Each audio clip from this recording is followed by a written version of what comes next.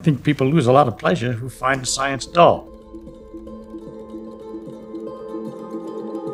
In the case of science, I think that one of the things that make it very difficult is it takes a lot of imagination. It's very hard to imagine all the crazy things that things really are like.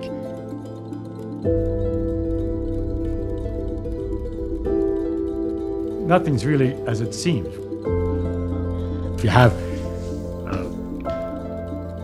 bunch of atoms, a cup of coffee or something sitting on a table. And the atoms are jiggling a great deal in the coffee and they bounce against the cup. And the cup then gets shaky. And the atoms in the cup shake and they bounce against the saucer. The heat heats the cup and heats everything else. That hot thing spreads its heat into other things by mere contact.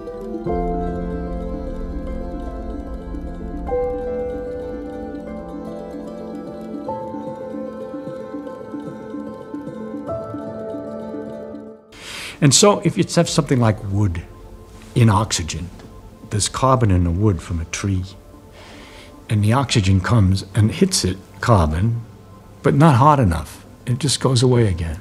The air is always coming, nothing's happening. If you can get it faster, by heating it up somehow, somewhere, somehow, get it started. A few of them come fast. They go over the top, so to speak. They come close enough to the carbon and snap in. And that gives a lot of jiggly motion which might hit some other atoms, making those go faster so they can climb up and bump against other carbon atoms, and they jiggle and they make mothers jiggle, and you get a terrible catastrophe, which is one after the other. All these things are going faster and faster and snapping in, and the whole thing is changing. That catastrophe is a fire.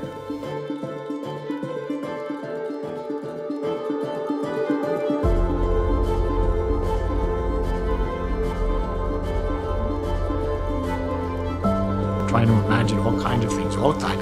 And I get a kick out of it, just like a runner gets a kick out of sweating. I get a kick out of thinking.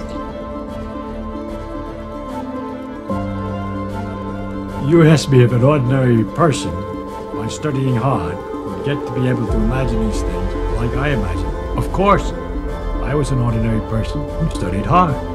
There's no miracle people. It just happens they got interested in this thing and they learned all this stuff.